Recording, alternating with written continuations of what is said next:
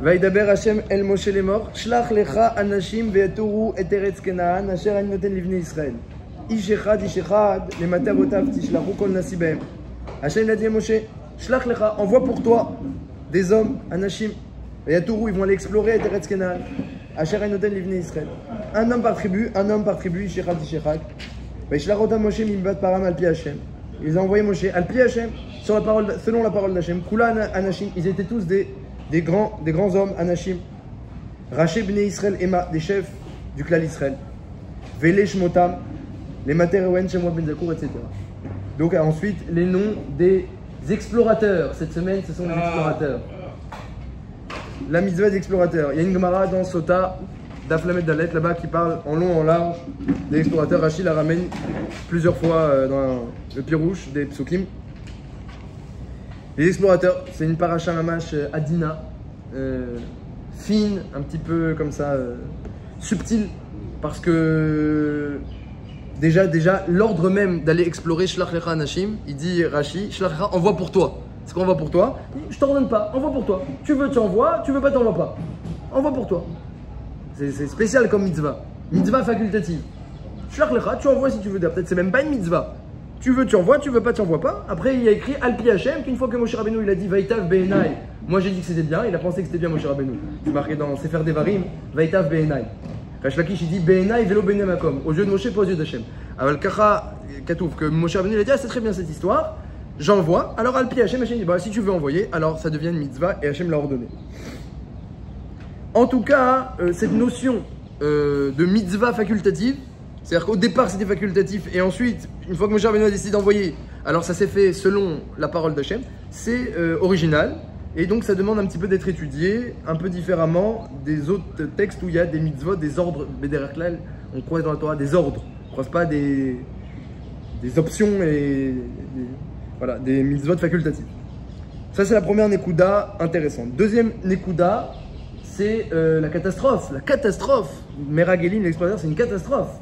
Hein, le grand virage. On devait rentrer en Israël, on rentre plus en Israël. Il y a eu des fautes dans le cas d'Israël, mais celle-là, c'est la goutte d'eau qui a fait déborder le vase. La shonara, Agav, hein, la shonara. Ceux qui veulent se renforcer en quelque chose, c'est l'imoud Torah et la shonara. Moshe, il savait qu'il ne rentrait pas à ce moment-là ou pas? Il y, a eu, il y a eu des rémazim, il y a eu des rémazim. Depuis déjà Parashat Vaera, il y a eu des rémazim. Euh, Ata tiré, maintenant tu vas voir ce que je vais faire. euh. Il, y avait, il avait des rémazim que, Moshe, que Hachem lui disait que. Mais euh, Moshe Rabbeinu, il s'est- la Midrash dit qu'il s'est pas inquiété. Même quand Hachem lui a dit tu rentres pas, il s'est pas inquiété. Il a dit je vais prier. et- Ça a passé. Ça va, pas- ouais, ça va passer. Pas, pas, pas ça va passer, je vais prier. Pas que ça. Quand tu pries, c'est pas que ça passe. Je vais prier. La, la prière, elle change tout. C'est pas que ça passe. La prière, ça change tout. C'est une ma'afera. Tu prends une femme qui n'a pas de matrice, Sarah nous, tu fais des prières, Rachel Akara, ça change tout la prière. C'est pas que ça passe. Peut-être une prière de moins bonne qualité, ça fait passer. Une prière, bonne prière, ça change tout. À Kolbanim, euh, il n'y avait pas de pluie, la faune, la flore n'avait pas poussé. Adam Arishon, il a prié. Le monde, il a une nouvelle facette. C'est pas pour rien qu'Hachem, il, il a fait que la première prière, elle fasse changer la face du monde. C'est pour te montrer qu'est-ce que ça fait la prière. Alcool Panim, euh, pour revenir à notre histoire, euh, donc c'est une catastrophe, c'est une catastrophe. La Shonara sur Eretz Israël, vous voulez pas rentrer, bah vous rentrerez pas, et que vos enfants sur lesquels vous avez dit les pauvres, c'est eux qui vont rentrer. Ah, catastrophe, mamash, euh, une grande mapéra le cas Israël, que euh, finalement ils vont devoir rester dans le désert. Ils ont fait déjà des fautes, mais il n'y a pas encore eu la Xéra. Comme il dit le Midrash, tu vois que euh, les histoires de la langue, la parole, eh bien, ce sont eux qui sont toujours subsidiaires. ah, D'après eux, Hachem, il agit. C'est le Icar de l'homme, la parole, donc qui concentre bien sa parole dans le bien et qui l'évite et il fuit. Sour mera netzor leshonera mera. Tu veux la vie, garde bien ta bouche. Et donc, de cette faute-là, il y a eu euh, vraiment euh, la grande décision, la grande xéra contre cette, ce Dordéa. À, savoir, donc, il faut, ce qu'il faut savoir, c'est comment ça s'est passé euh, une telle chute avec Kulam Anashim. Dit Rashi, Kulam Anashim, c'est des gens Chashuvim, Ksherim Ayou, des gens tzadikim. Ils étaient tzadikim, des Meragalim tzadikim. Rachel Ben Israël, vous voyez, Yehoshua, le Ramban, il ramène que l'ordre de citation des, chefs de tribus qui sont mentionnés ici, Igal Ben Yosef, euh, etc., Palti Ben Rafou, c'est l'ordre d'importance. Yehoshua, il, il est qu'en cinquième. Donc imaginez, euh, c'était des- vraiment des, des- chefs, des têtes. Et pourtant, eh bien, euh, c'était pour eux, c'était encore, c'est encore pire que pour les autres. Les autres, au moins, Hachem leur a laissé 40 ans dans le désert, de, de telle sorte à mourir naturellement. Mais eux, ils sont morts dans des conditions atroces, les Miragelim. La langue qui s'allonge jusqu'au nombril, et des tolaïm qui sortent et qui re-rentrent, et ils sont dans des conditions atroces. Parce qu'ils ont, et, eux qui étaient tzadikim, ils ont dit du Lachonara sur Israël, et ils ont fait pleurer tout le monde le 9 av. Il y a eu aussi, même, non, même à, travers toutes les époques, le 9 av c'est resté un jour de catastrophe. Betamikdash, euh, euh, numéro 1, numéro 2, Bétar, euh, etc. Toutes les, les- les catastrophes du 9 av. Sion, mais. C'est ça peut être une Est-ce que c'est ça qui conditionne le femme ou le femme qui est déjà fonctionné avant C'est ça. C'est ça qu'a conditionné Agmara. Elle dit que puisqu'il a commencé ce jour-là à faire des pouranouyot, qui vont pas rentrer en Eretz Israël, alors Hachem il a dit maintenant je serai Megelgel Chov et Chayav. J'amènerai les punitions par les jours qui sont déjà des punisseurs. Il y a des jours comme ça punisseurs, entre guillemets. Comme des, types pas bien, comme ça, Hachem dit à toi, t'es un, un type pas bien, alors je vais t'amener euh, chez Plony qui doit recevoir une punition. Comme ça, vous vous rencontrez et tu vas, tu vas l'aider à recevoir son, sa punition. Galil Srout l'aider Zakai et Chov à l'aider Chayav, oui, c'est lui qui l'a qui l'a prédestiné. Comme ça, signera dans la Gemara, dans Ta'anit.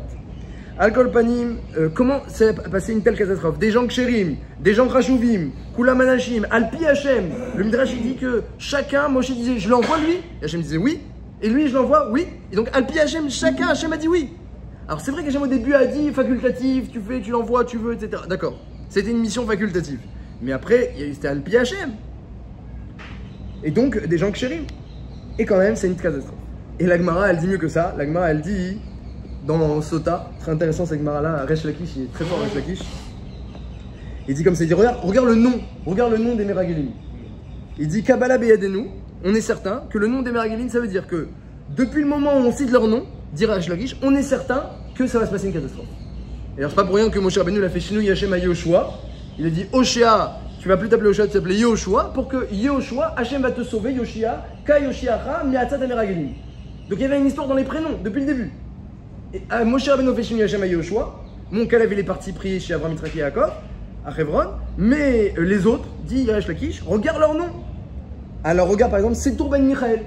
C'est Ben Michael, il est sautère les paroles d'Hachem. Hachem dit la, parole elle est bonne, Euh, la, terre elle est bonne. Eretz Israël Tova, Uchava, etc. Euh, Chalav Udvash. Et lui, c'est Ben Michael, notamment, hein, pas lui spécialement, hein, mais tous les Meragim dont lui, ils ont contredit la parole d'Hachem. Donc c'est tour sautère, tu as contredit Hachem. Ben Michael, pro Michael, Michael, Mar, tu as rendu faible, quel Hachem? Donc, euh, c'est Méramez que Hachem voulait faire entrer les Juifs et leur faire des brachot et leur faire des tovot et même leur donner le Beth Amikdash. Et toi, tu as rendu faible Hachem, il n'a pas pu faire ce qu'il avait prévu. C'est ton Ben. Alors après, la elle dit Et les autres alors? Et Resh Lakish dit Les autres, je sais pas dire comment on voit dans leur prénom. Mais je suis sûr, il dit Resh Lakish, que leur prénom indique qu'ils voulaient fauter depuis le départ. Comme ça dit Resh Lakish. Je suis certain qu'ils voulaient Kabbalah nous. Mais je sais pas dire. C'est extraordinaire, ce Gemara. Il a trouvé que 1 sur 10 et il dit Ah, mais c'est certain qu'il voulait fauter depuis le départ. Alors, le Rabbi Yochanan, il a aidé, il dit Écoute, moi j'ai trouvé Narbi Ben Vovsi. Hein? Un Narbi Ben Vovsi. Narbi, chez Herbi, il a caché la véracité euh, de la promesse d'Hachem. Et Vafsi, c'est pas ça. Il a outrepassé le projet d'Hachem. Dilègue sur ce que Hachem il voulait faire. Donc j'ai trouvé Ben Vovsi. Mais les autres, non plus, je sais pas dire. Pas mal, pas mal. Pas, Palti Ben Rafou. Paulette, il a rec- Ah oui, les, méfar- les, les balais moussards, les méfarchim, il trouve euh, des allusions. Mais ce qui est extraordinaire, c'est que Resh Lakish et Rabbi non, Resh Lakish trouvé que un. Et je suis certain que depuis le départ, ils voulaient fauter ces gens-là. C'est dans leur prénom, c'est indiqué. Alors du coup, du coup, on peut se demander une, vraie stira que demande euh, l'octave Sofer notamment, mais une stira euh, broura, que Rachid dit que Kula Manashim, ça veut dire quoi Kula Manashim? Des gens Khashoum, des gens Ksherim Beota Sha'a, des gens Kacher. Et d'un côté, la Gemara a dit depuis le début, vous voulez fauter. C'était mal parti depuis le départ. Alors comment c'est possible? Tu me dis qu'ils étaient Ksharim, Khashouvim, des gens bien, des gens tzaddik, et puis tu me dis que dans leur prénom, ça indique déjà qu'ils voulaient fauter. C'est une contradiction totale. Et deuxièmement, pour Aresh Lakish qui n'a trouvé que 1 sur 12 ou 1 sur 10, il est tellement sûr qu'il voulait fauter depuis le départ. C'est rigolo. T'as trouvé que 1 Ben oui, oui, c'est certain. Un peu contradictoire. T'as trouvé que 1, alors euh, ne dis pas qu'il voulait fauter. Lui, il est sûr qu'il voulait fauter. Qu'est-ce que ça signifie Qu'Aniré que Resh Lakish avait d'autres preuves que leur prénom. Donc plusieurs chélotes euh, sur la paracha. Et le Shinou Yachem aussi, on peut demander, le Shinou Yachem que Moshe Rabbeinu, il a senti le besoin. Moshe Rabbeinu, c'est lui qui a choisi d'envoyer Yoshua et, tout, et d'envoyer tous les Meragalim. Comme Hachem a dit, envoie si tu veux, et Moshe a dit oui. Et pourtant, quand même, il fait Shinou Yachem à Yoshua. Et le Targum, Jonathan, pas Onkelos, mais Jonathan, il dit pourquoi il a fait Shinou Yachem Il dit, c'est marqué dans, la, fin de la montée, hein, Moshe Locha Binun Yoshua.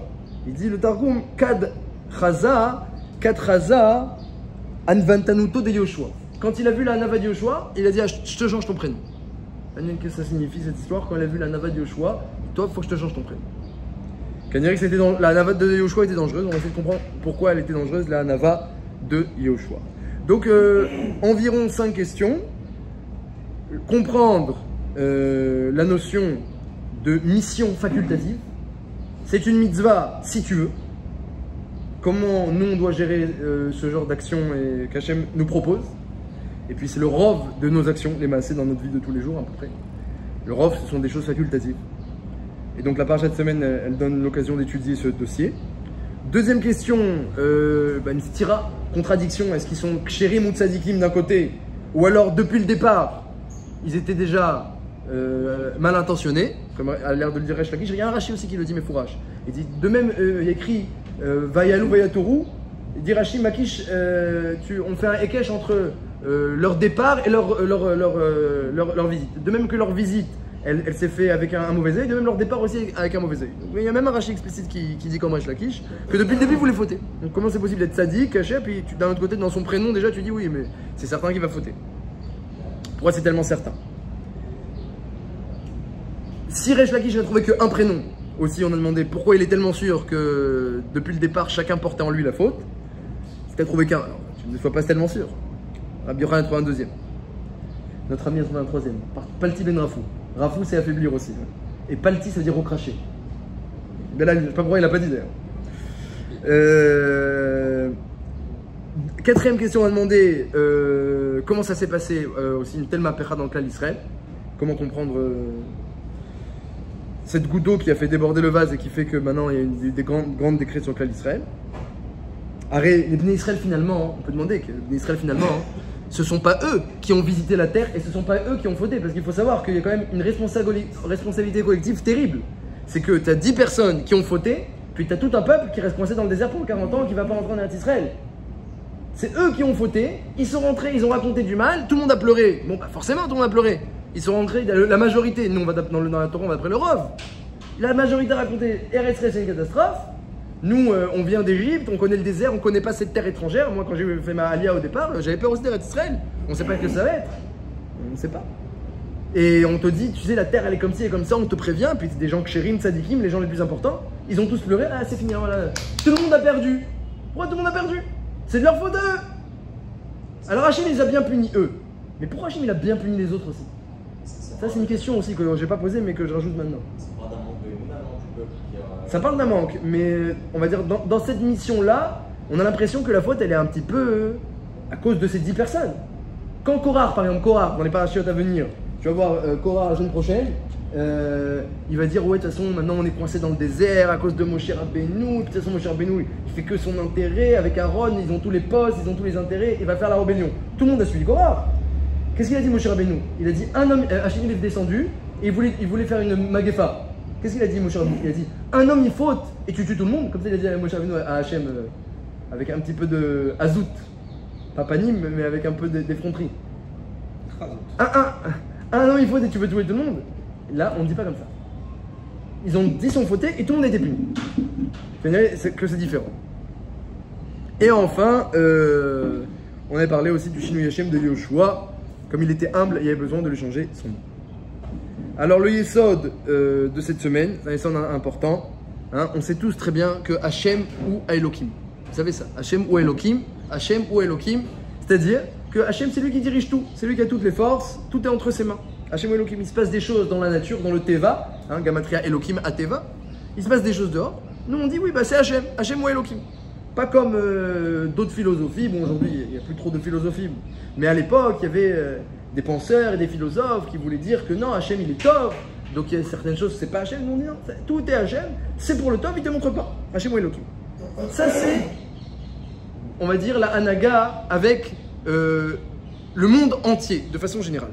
Maintenant, il y a un truc spécial, qu'on le répète tout le temps, et je ne sais pas si on a mis de bonne haine suffisamment, qui s'appelle la notion de Elokenu. Elokenu. Elokim chez la nous. Elokim, on a dit, c'est quoi? C'est la Hanaga d'Hachem dans le monde. Il se passe des choses dans le monde, naturelles, euh, des fois c'est des bonnes choses, des brachot naturelles, des fois des catastrophes naturelles. Nous on dit tout ce qui se passe dans le monde, ça cache beaucoup. Très bien. Maintenant, il y a aussi une notion de Elokenu. Notre Elokim. Et ça, ça veut dire quoi? Alors Ramban explique que ça veut dire que même que Hachem a décidé, depuis la sortie d'Égypte, de ne plus adopter un comportement miraculeux, de ne plus se comporter comme il l'a fait à Matan Torah, à la sortie d'Égypte, c'était une fois pour apprendre à connaître Hachem, et ensuite de génération en génération, eh bien, on transmet à nos enfants, et il n'y a plus cette anaga là, au contraire, la anaga d'Hachem, le Hachem, il va se faire dans d'autres conditions, de façon plus cachée. Hein, le mot olam, ça veut dire caché. C'est-à-dire que même que Hachem est caché, toi tu dois le trouver. C'est ça tout le but du olam. Hachem il s'est montré une fois pour faire euh, le kesher à la base, créer le kesher à la base. Mais maintenant le jeu entre guillemets, c'est cache-cache. Comme disait le Hachem il joue à cache-cache. Comme disait le c'est qu'Hachem se cache et toi tu le trouves. Et sur ça il va être ton mérite. Donc, maintenant Hachem il se cache. Mais Elokeinu, il se cache, mais dit le Ramban, pas de la même manière pour les Goïms et pour les Bnei Israël. C'est-à-dire qu'Hachem avec nous, bien qu'il ne va pas nous ouvrir la mer rouge, mais ce qui va se passer dans le quotidien, c'est Ashgacha Pratit. Hein? C'est marqué sur le tzaddik que l'œil d'Hachem ne quitte pas le tzaddik. Comme ça il ramène le Ramban, un pasouk de Yov. L'œil d'Hachem ne quitte pas le tzaddik. Ou alors encore, ou alors aussi euh, dans les Télim, on dit que euh, euh, Ein Hachem al Yereav. Hachem regarde ceux qui le craignent. Donc quand il y a quelqu'un qui est tzaddik et qui craint Hachem, donc en d'autres termes, quand un homme il tourne son œil vers Hachem, alors Hachem il tourne son œil vers lui, et c'est quoi tourner son œil C'est qu'il se comporte à Ashgara pratique. Ce qui fait que puisque tous les juifs, Baruch Hachem, eh bien, plus ou moins, chacun selon son niveau, se tourne vers Hachem, alors il y a une moussade de Elokenu. Elokenu, c'est que Hachem, derrière euh, le paravent de la nature, en fait, tu vas voir dans ta vie qu'il te conduit avec une Ashgacha bien précise, bien spécifique, et il n'y a pas de hasard, et c'est exactement pour toi. Et si tu es zoré, il va, Hachem va le faire de façon euh, éclatante, et tu vas le voir probante, c'est extraordinaire. Et si tu es moins zoré, tu vas le voir moins. Mais en tout cas, ce qui va dire, c'est que pour le clan Israël, Akash se comporte avec cette Ashgacha-là, Ashgacha pratique. Comme ça explique le Ramban, la notion de Elokenu. C'est-à-dire que même que il n'y a pas de miracle, on va dire surnaturel, mais il y a quand même une anaga. Ce qui fait, ce qui fait que, eh bien, on ne doit pas agir non plus dans la nature comme les. Si tu sais que Hachem avec toi il se conduit avec une ashgacha pratique, il se comporte avec toi euh, comme un père qui tient son fils et qui le tient par la main et voilà maintenant on avance dans la vie ensemble, tu avances avec Hachem. Alors sois aussi un enfant qui va respecter la volonté d'Hachem. Et si parfois par exemple une ishtadlout, tu vas vouloir faire un effort dans la nature qui n'est pas exactement comme la volonté d'Hachem, mais puisque tu sais que regarde Hachem comment il t'a façonné, modelé la nature, exactement sur mesure, pour que ce soit facile, noir, agréable et que ce soit adéquat à toi, tu vois ça. Donc il n'y a pas de raison que tu fasses des efforts dans la nature qui vont contre sa volonté.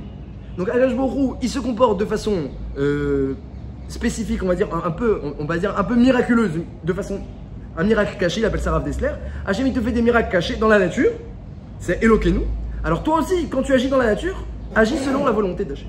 Et donc, on arrive à, cette notion-là de euh, savoir mesurer la la ishtadlout qu'on doit faire. Akash Borou, il nous demande de faire des actions facultatives.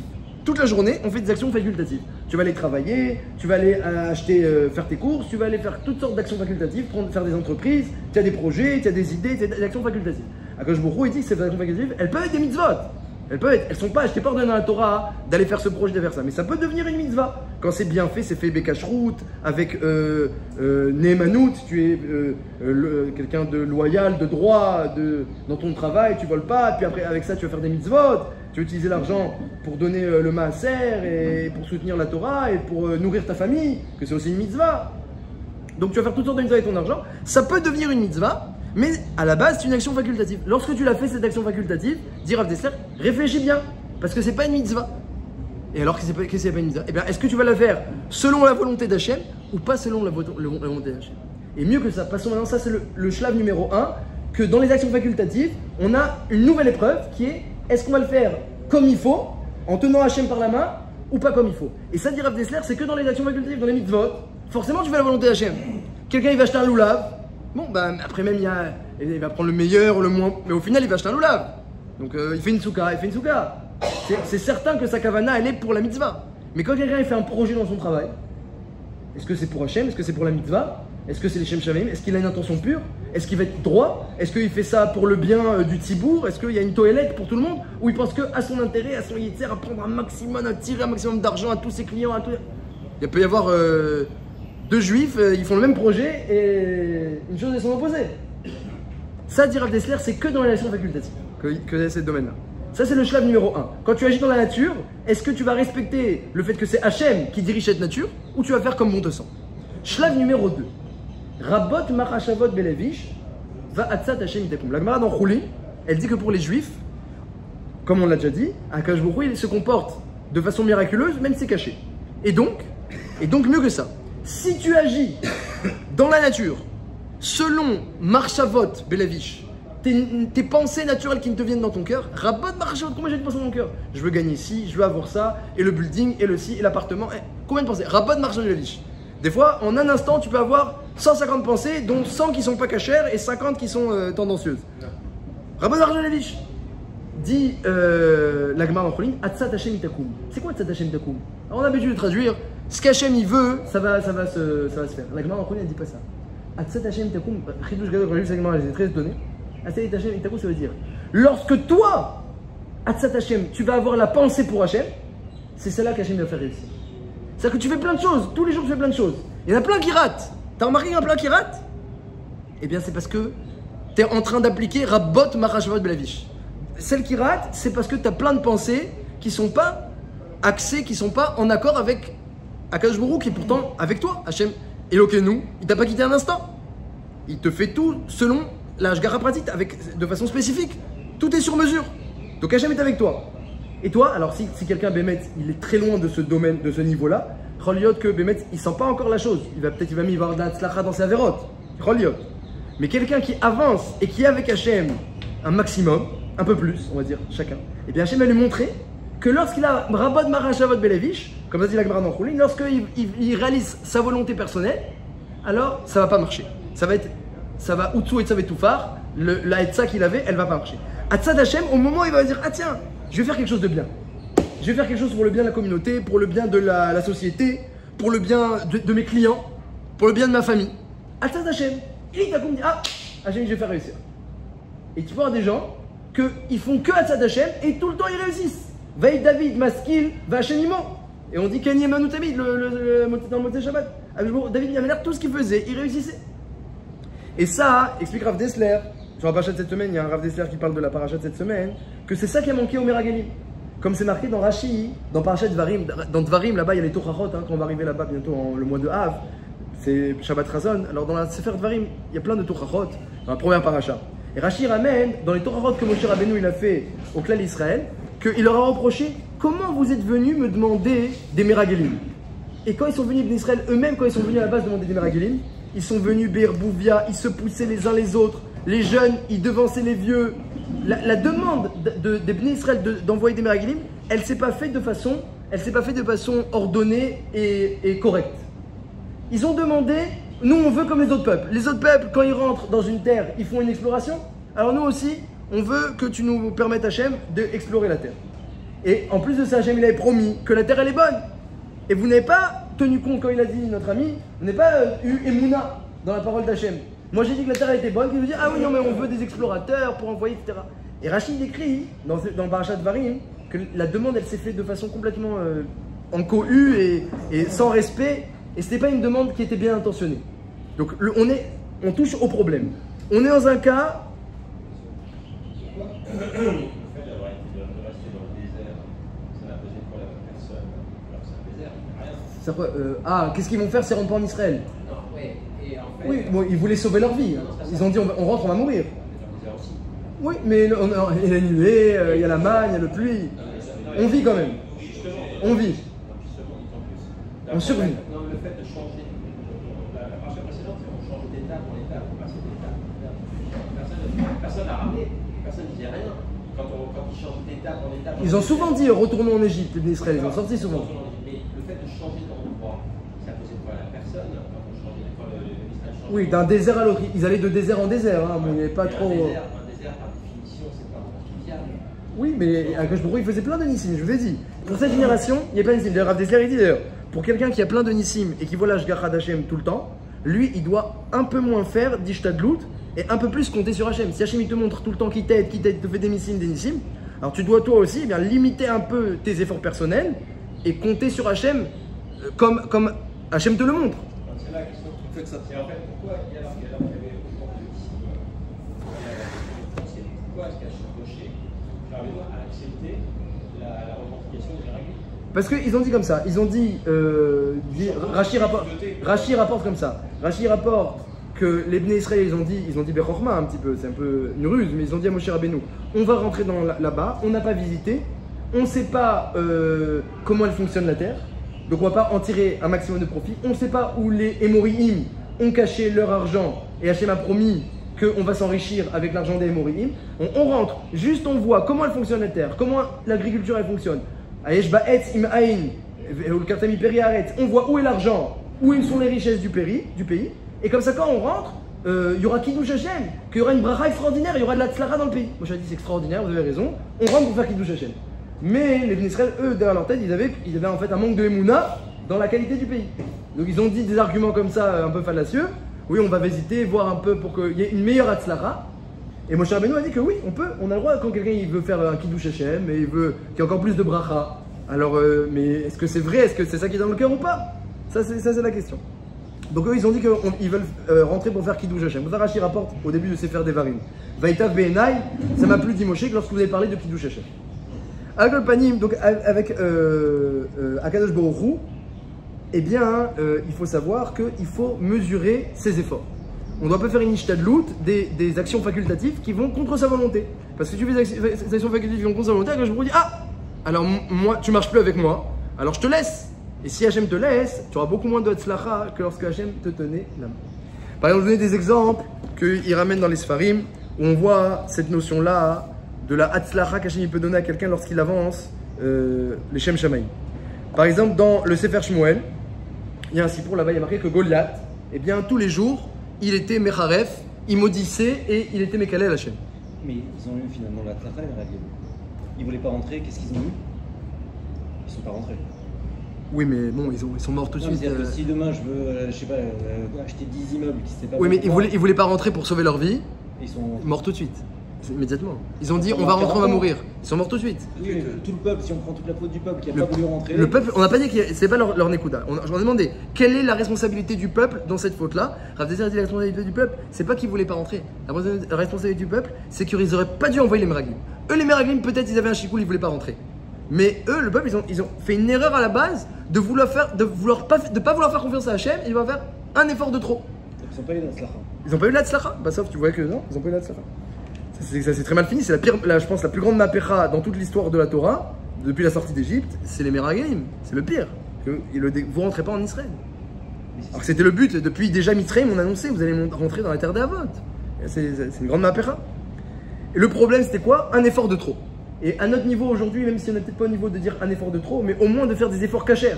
Des fois, quelqu'un qui se permet de faire des efforts des qui ne sont pas cachers, eh bien, euh, ah, le stapler par exemple, j'étais en train de raconter l'histoire de chemin, le stapler une fois, euh, il, a été enrôlé de force à l'armée, le stapler quand il était jeune, le père de Afghanistan. Alors, euh, ils l'ont pris à l'armée et il continuait à étudier en même temps qu'il faisait ses gardes. Donc il dormait pas beaucoup, puis un jour il s'est endormi et paf, il a tiré une balle sans faire exprès.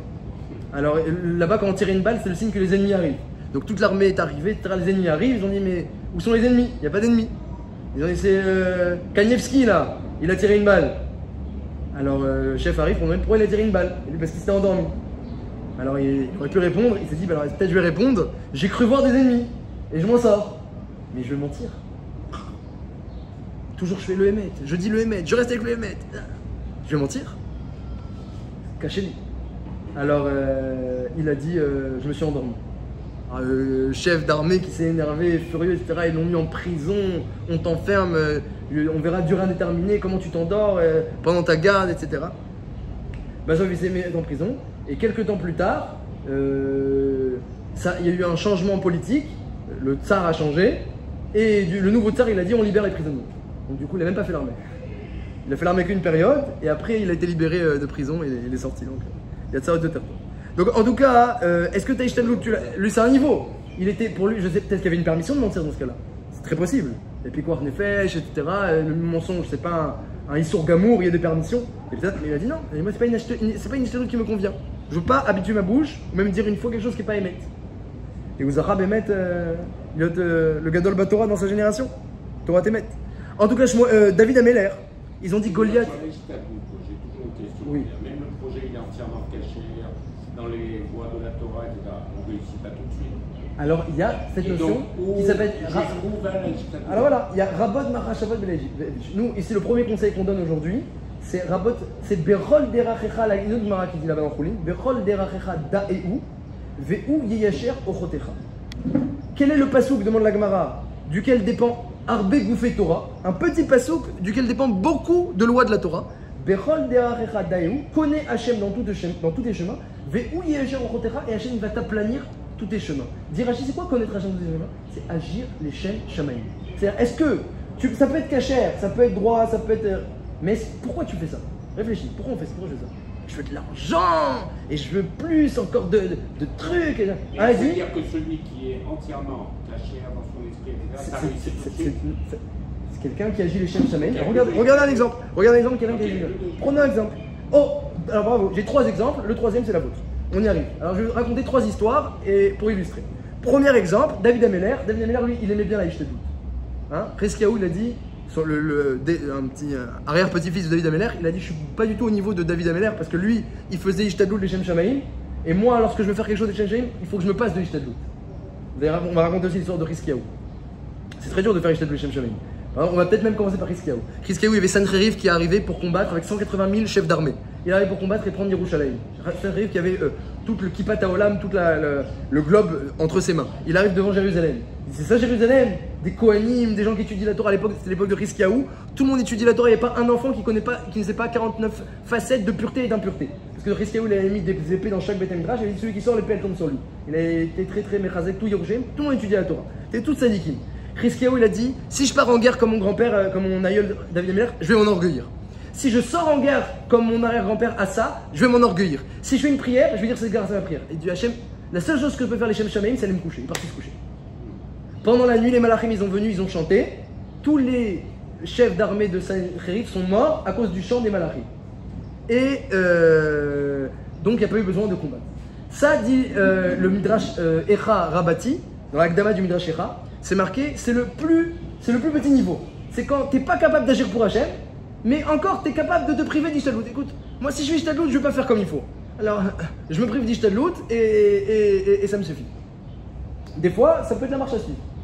Dans certains cas, ça peut être quelqu'un qui voit qu'il n'est pas capable de. Si je fais Ishtadlout, euh, je vais oublier Hachem, je vais compter sur mes efforts, je vais m'enorgueillir, c'est pas cachère, etc.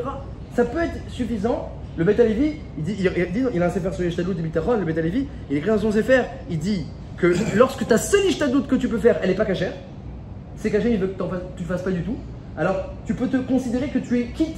Tu es quitte du Ishtadlout. C'est comme si j'avais fait. C'est comme si j'avais fait. D'ailleurs, ça me rappelle une histoire que moi, j'applique souvent ce principe de Bitachon et Ishtadlout. Une fois, je voulais faire rentrer mon fils dans un cheder très très coté, tout le monde voulait rentrer là-bas. Il y avait euh, 20 places et il y avait euh, 2000 demandes. Euh, ouais, euh, à Yerushalayim. Et alors, on m'a dit, bon, c'est très dur, etc. Écoute, moi, je veux le mieux pour mes enfants. Alors, euh, je suis parti. Pour- Et pour faire Ishtadlout, il fallait aller voir comme ça de temps à autre euh, le directeur et lui parler comme ça, revenir plusieurs fois pour le saouler. En fait, il faut les saouler le directeur jusqu'à qu'il accepte. C'est un, peu ça la démarche. Et je me rappelle une fois, euh, j'étais parti le voir un matin, et moi c'était dur à fois d'aller le voir parce que je devais prendre, ça me prenait du temps de céder, comme une demi-heure ou une heure de céder pour aller le voir, et j'arrivais en retard à la yeshiva, etc. au Golel. J'étais à Yeshiva de Mir. Et, et, et ça m'est arrivé plusieurs fois hein, d'aller le voir et de ne pas le trouver. Il n'était pas là. Ça arrive, il était toujours là le directeur. Et normalement il vient le matin, mais des fois il ça m'est arrivé plusieurs fois. Comment je considérais, d'après le Bet moi j'essaye d'appliquer le Bet tu as fait Ishtadlout, ou tu peux pas, ou tu as fait ça, tu es quitte, tu es quitte. Et je me rappelle une fois, j'étais content, ah bon Hachem, je suis quitte, j'ai fait, je suis tranquille, j'ai fait, je suis tranquille. Mais tu l'as pas vu d'ailleurs, je suis tranquille. Je me rappelle, le jour même, je l'avais croisé dans la rue, il disait alors comment ça va, ça avance, etc. Le jour que je l'avais dit comme ça. Bassoff, ils m'ont pas accepté dans le Kheder parce que j'avais pas suffisamment de pistons, ils m'ont pas accepté.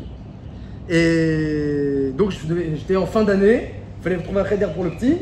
Et alors qu'est-ce que j'ai dit moi? D'après le principe de télévision, j'ai fait Ishtadlout comme il faut. Avec le premier Kheder. Alors avec le deuxième, je suis pas rêve de refaire tout ça. J'ai fait, je, suis quitte. Alors je suis tranquille. Je suis tranquille, je me suis juste inscrit à un Kheder et ça qui eux ils m'ont envoyé balader. Je me suis inscrit à un Kheder de Ravades, il m'a dit écoute ça fait longtemps qu'on a fini la liste, pourquoi tu viens euh, après nous? Je lui ai dit bah écoute euh, je suis parti, je- écoutez je suis parti euh, dans le Kheder Ashkenaz. Il dit ah euh, je vais pas mentir, il dit ah on est euh, la route secours. M'a- mais non seulement on est plein mais alors toi t'as aucune chance. Et moi j'ai dit je suis quitte. Ma femme elle a dit oh là je vais prendre le, ma femme, elle- je je vais prendre le petit l'année prochaine en cours particulier j'ai l'impression. Elle se préparait déjà euh, à, faire euh, prof à la place euh, de le faire rentrer. Moi j'étais mitrasé, j'ai fait ma Ishtadlout, je suis quitte. Je suis quitte.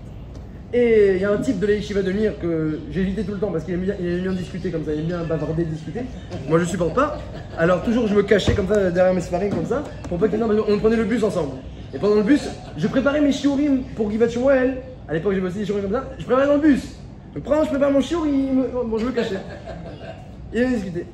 Et un jour, euh, il venu me s'asseoir à côté, il m'a dit Oh là, catastrophe. Qu'est-ce qu'il va me raconter? Il me dit, il euh, J'ai entendu que t'as pas de d'air. Euh, J'ai entendu par euh, le rap de, de Mir pas de d'air. C'est terrible, ils n'ont pas accepté, nanana machin, etc. Et tu t'es inscrit ailleurs Je dis, me suis inscrit chez Ravades, mais euh, il m'a envoyé balader complètement. Il dit C'est pas possible. Dit, Je vais aller les voir. Et ce monsieur-là que j'évitais tout le temps, j'ai rien fait. Il est parti chez Ravades, il a fait un scandale. Comment vous voulez pas le prendre Un frère de Mir là. Et ben, j'ai accepté finalement chez Ravades sans rien faire du tout. En tout cas, pour reprendre David Ameller, David Ameller, il, est parti contre Goliath. Goliath, il faisait Chilou Lachem tout le temps. Et David Ameller, il, est, arrivé. Alors, Goliath, une armure euh, euh, des pieds à la tête, 200 de- 2500 euh, shekels d'ar- de, nérochette, couvert des pieds à la tête en armure. Il mesure Siamot Vézéret, euh, 3 mètres et, plus. Et David Ameller, euh, avec son mètre 70, qui arrive en face de, Goliath, il dit Qu'est-ce que tu veux? Il dit David Ameller, il dit euh, aujourd'hui c'est fini le Rio Lachem. Il dit pourquoi? Tu sais pas que je vais maintenant euh, te réduire en bouillie, il a même pas d'armure, rien du tout, etc. C'est rigolo d'ailleurs. Shaoul lui a mis une armure à David Ameller. Après il a essayé, David Ameller, il a, dit Lo- Lo- Lonicity, Lonici- Lonissa, Lonissa. A Rachid ramène deux Pirouchim. J'ai pas l'habitude, j'ai pas l'Insayon. Il a reposé l'armure. Après, deuxième Pirouche, il dit Rachid, Lonissa, on verra pas le Nes. Si j'ai une armure, on verra pas le Nes. Enlève-moi l'armure, on verra pas le Nes. Il arrive devant Goliath, donc sans rien du tout, avec euh, des pierres. En face de Goliath, avec une armure comme ça. Il dit Goliath, mais qu'est-ce que tu veux Qu'est-ce que tu veux? Tu sais pas qu'il y a des plus forts qui sont venus me combattre, des armées Qu'est-ce que tu veux? Il lui dit Regarde, toi tu viens, pour... avec quoi tu viens? C'est ça les coups d'adou, je te doute. Avec quoi tu viens? Avec une épée et d'une rochette. Avec quoi tu C'est ce que je viens? Je viens avec le Shem Hachem. Je viens pour Hachem. Qu'est-ce que tu veux? Tu veux que je perde? Je viens pour Hachem. Atzat Hachem, Itakum, je viens pour Hachem. C'est certain que je vais gagner. C'est certain. Quand quelqu'un il vient pour Hachem, c'est certain. Une autre histoire avec. Et sauf il a gagné. Une autre histoire avec David Ameller, que Hachem lui a dit les Péléchim, ils ont entendu David Ameller est devenu roi. Ils ont dit la première fois, au tout début, on va lui tomber dessus. Alors David Ameller, il les a combattus dessus, c'était pas si facile. Après, il y avait un deuxième combat avec les Péléchim, il est parti demander Urim Vetumim est-ce que je vais combattre ou pas? Parce que c'était pas facile. Urim Vetumim, il a dit ne va pas combattre. Ne va pas combattre, tu passes derrière eux, tu te mets derrière eux, tu fais le tour, et lorsque tu entendras les feuilles des arbres qui bougent, alors c'est Siman que tu peux attaquer. Rachid dit les, les malachim que j'envoie pour combattre les Péléchim, ils vont faire du bruit dans les feuilles. À ce moment-là. Il arrive derrière les Péléchim. Les Péléchim, ils se retournent, ils avancent en face de David. Les, soldats disent On attaque? Non, non, non. Ils avancent. On attaque? Non, non. Mais David Ameller, ils vont nous tuer. Le Midrash, il dit Ils sont arrivés jusqu'à 4 amot. De, à proximité, ils n'ont pas attaqué David Ameller. Il dit Pourquoi? Il dit Hachem, il m'a dit Il vient combattre Hachem lorsque les, les feuilles, elles bougent. Les feuilles n'ont pas bougé. Il n'y a pas une feuille, il n'y a pas un vent. Les feuilles n'ont pas bougé. Alors ont dit On va mourir. Il dit Je préfère on meurt et Hachem est avec nous qu'on agit et Hachem n'est pas avec nous. Quand ils étaient à 4 amotes d'après le Midrash, les feuilles ont bougé, ils sont partis, ils ont, ils ont tué tout. le monde. Donc quand est-ce que tu viens Béchem Hachem ou tu viens pas Béchem Hachem? Les Bnei Israël, à l'époque des Meraglim, ça répond à toutes les questions, ils sont pas venus Béchem Hachem. Tout le peuple se sont réunis dans la cohue, ils ont bousculé tout le monde, derrière on veut une exploration. Ah pourquoi? Euh, Qui touche Hachem? Qui touche Mais en vrai non, on veut parce qu'on fait pas confiance. Donc votre projet de départ n'est pas pour, pour Hachem. Ça peut pas marcher, c'est facultatif. Dis Hachem, attention, c'est facultatif. Si c'était une mitzvah, si tu fais le loulav pour ton intérêt, il n'y a pas de risque, parce que c'est une mitzvah. Donc il y a la siyata de la mitzvah, c'est Hachem qui a demandé.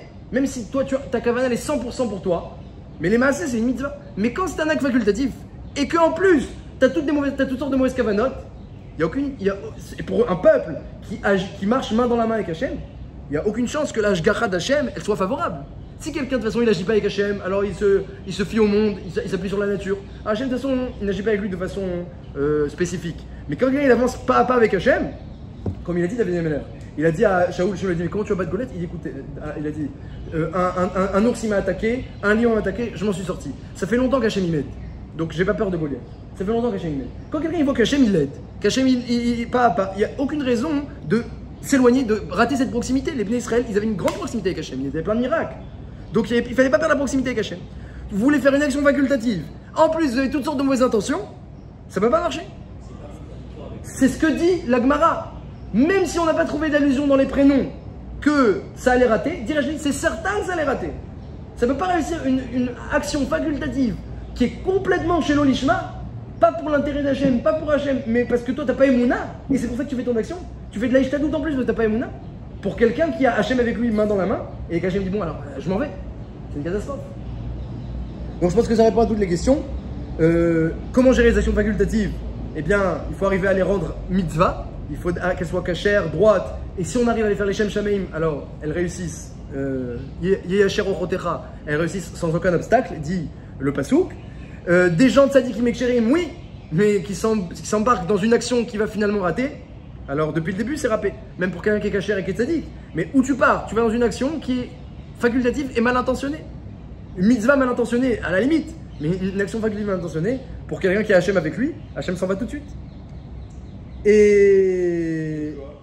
Et Yoshua le Hachem aussi. Yoshua aussi, Moshe Rabbeinu a perçu, peut-être pour les autres il a pas vu que ça allait rater. Mais pour Yoshua, Il était de base sans le lécher Yoshua il voulait pas rentrer en Israël parce qu'il voulait que Moshe Rabbeinu reste vivant et que lui soit pas le dirigeant. Mais Rov Anvatanuto parce qu'il était trop anneau. Il voulait pas entendre parler de cette histoire que Moshe Rabbeinu meurt, qui vient et moi je rentre et c'est moi le chef. Moshe était très très, euh, Yoshua était très humble. Il a dit, euh, Moshe Rabbeinu, il va peut-être faire rapper la, la mission de Meragelim. Je change son prénom, qu'Hachem te sauve et t'empêche de tomber dans le panneau. Que tu arrives à voir que la terre elle est bien, malgré ton envie de ne pas rentrer. Donc euh, ça c'est le ridouche de cette semaine, que lorsque quelqu'un... Il faut, il faut savoir, il dit Rav Dessler, la Ishtadlout, le fait de faire des efforts, c'est une malédiction qu'Hachem a donnée à Adam Arishon. Adam Arishon, Hachem il a dit, je vais te donner à boire, à manger, de quoi t'habiller, tout ce que tu as besoin. Sans rien faire. Ça c'était Adam Arishon. Quand il a fauté, il a dit Hachem, je vais te donner à boire, à manger, tout ce que tu as besoin. Mais quoi? Mais tu vas faire Ishtadlout.